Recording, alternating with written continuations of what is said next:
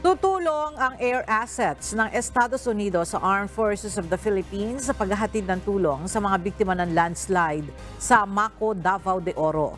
Sa ngayon ay nasa Villamor Air Base na sa Pasay ang dalawang US Marine Corps KC-130J Hercules aircraft na maghahatid ng disaster relief operations. Ang nasabing joint efforts ay bahagi pa rin ng commitment ng US at Pilipinas sa pagsasagawa ng humanitarian assistance at disaster relief operations na kasama sa mga binigyan diin sa katatapos lamang na US-Philippine Maritime Cooperative Activity.